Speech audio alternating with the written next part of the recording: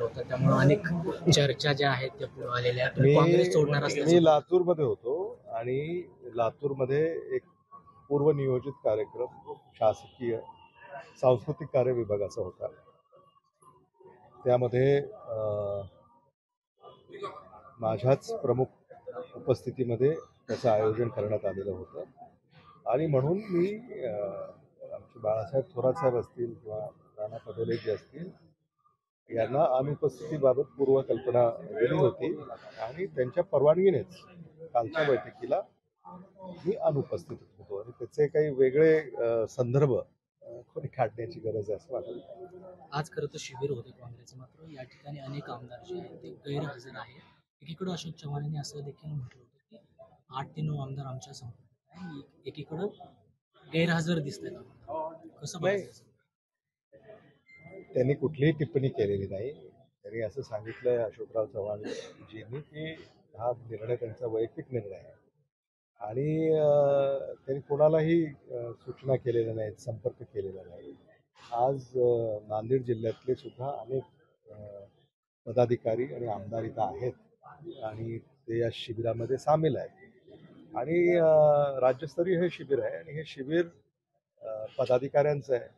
तालुकाध्यक्षांचं आहे शहराध्यक्षांचं आहे जिल्हाध्यक्षांचं आहे. प्रदेश काँग्रेस कमिटीच्या सगळ्या पदाधिकाऱ्यांचं आहे. त्याच्यात आजी माजी आमदार आहेत आजी माजी खासदार आहेत केंद्रीय नेते आहेत. या सगळ्या याच्यामध्ये या येणाऱ्या निवडणुकीच्या पार्श्वभूमीवर जी काही रणनीती ठरणार आहे त्याची ही साधारणतः बैठक या ठिकाणी होते. त्यामुळं काँग्रेस पक्ष आपल्या कामात आहे. असं आपण म्हणू ते, अं, भाजपमध्ये गेले त्याचा फटका कुठंतरी नांदेड किंवा हिंगोली जिल्ह्याला अशोकराव. चव्हाणजींनी काँग्रेस पक्ष सोडून जायला नको होतं. हे आमच्यासाठी अतिशय दुःखदायक आहे. त्यांनी तो त्यांचा वैयक्तिक निर्णय आहे असं सांगितलं. आणि आता ते निघून गेलेत. हे सत्य आहे. ते सत्य स्वीकारून पुढे पावलं उचलली पाहिजेत. अशोकराव चव्हाणांनी असंही सांगितलंय की मी अनेक वेळा पक्षश्रेष्ठींना सांगितलं होतं. तर माझं न ऐकल्यामुळे मला भाजपमध्ये जावं लागलं. नाही असं मी तरी नाही ऐकलं. तुम्ही हम्म. काय संदर्भ तो काढलाय मला माहिती नाही. त्यांनी कुणावरही टीका टिप्पणी केलेली नाही. ते असं म्हणाले की मी कुणावरही टीका टिप्पणी करू इच्छित नाही. हा माझा वैयक्तिक निर्णय आहे. आणि म्हणून मला असं वाटतं की अं, थोडासा अवधी द्या.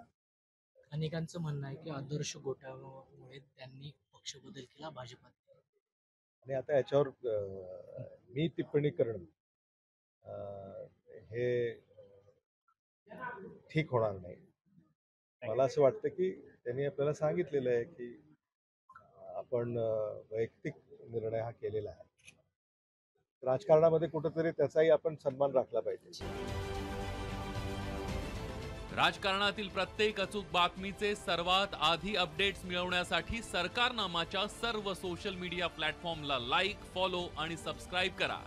तसंच सर्व नोटिफिकेशनसाठी बेल आयकॉन प्रेस करायला विसरू नका.